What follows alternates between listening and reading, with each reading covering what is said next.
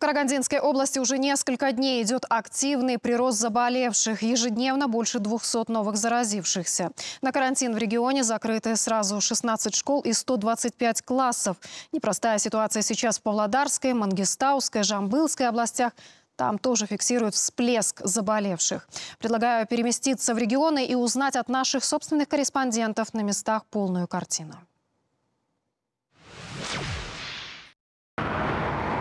Павлодарская область вошла в желтую зону, и у нас снова ужесточили карантин. В регионе в очередной раз закрывают детские игровые центры. Запрещена работа компьютерных клубов, бильярдных и букмекерских контор. Новое постановление накануне подписал главный санитарный врач региона. Больше недели медики наблюдали за ситуацией, но она не улучшилась. А еще по выходным перестанут работать сауны. В мечетях, церквях и синагогах опять нельзя проводить массовые мероприятия. Под запретом проведения поминок закрываются банкетные залы. Правда, детских садов и школ ужесточение карантина пока не коснулось.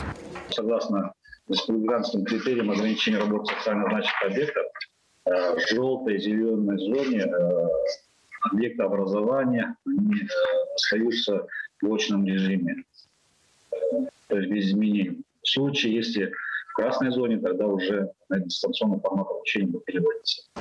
Павлодарская область находилась в зеленой зоне больше 20 дней. Неделю назад мы ее покинули. Организации и офисы обязаны отправить половину сотрудников на удаленный режим работы. Разрешено проводить спортивные мероприятия, но только без зрителей. Кинотеатры должны сократить количество посетителей в 4 раза.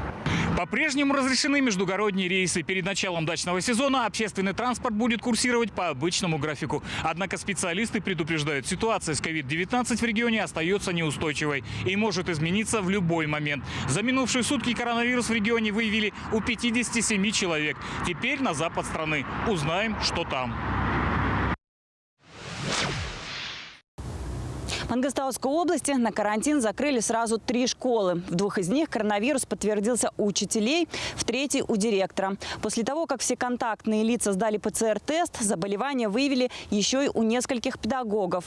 В итоге приняли решение отправить всех на дистанционное обучение. С четвертой четверти в регионе уже 29 классов находятся на карантине. В них тоже заболели учителя. Специалисты сообщают, что пока в Мангостау нет ни одного факта заражения учащихся.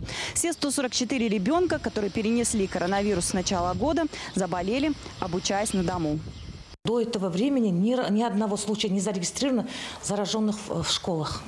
В школах э, соблюдаются санитарные требования. Э, чужих людей не пускают э, в школу, родители не пускают. При входе проверяется температура, санитайзеры у всех есть, классы кварцуются. Дети сидят в школе от силы 2-2,5 часа.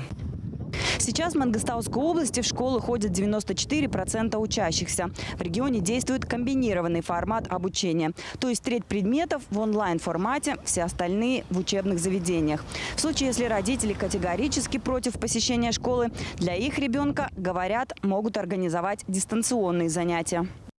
Отправлять ли целый класс на карантин или школу, решают местные санэпидемиологи. В зависимости от того, насколько много было контактировавших с зараженным людей. Но, как говорят специалисты, даже если заболел всего один педагог, его класс однозначно сразу ждет карантин. Далее на юг страны. Как обстановка там? Жамбылская область уже третий день в желтой зоне. У нас только за последние сутки выявили более 50 зараженных. Среди них есть и дети. Эпидемиологи боятся, что это еще не предел и предполагают, рост вызвали мартовские праздники. Жители перестали вообще соблюдать санитарные требования.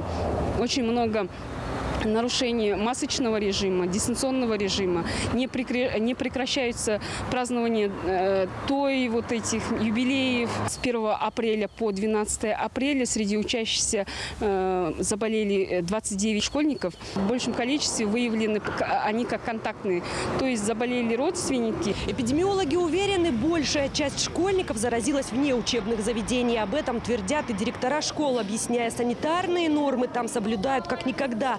Но многие родители уже подумывают вернуть детей на дистанционное обучение. Бьют тревогу и медики скорой помощи. Там только за последние сутки более 100 вызовов к больным с подозрением на коронавирус и пневмонию.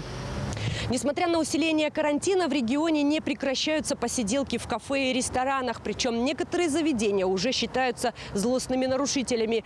Борьба с таковыми не заканчивается даже после решения суда. Хозяева открывают новое ИП и работают дальше. Сможет ли регион при таком положении дел вернуться в зеленую зону или провалиться в красную, покажет время.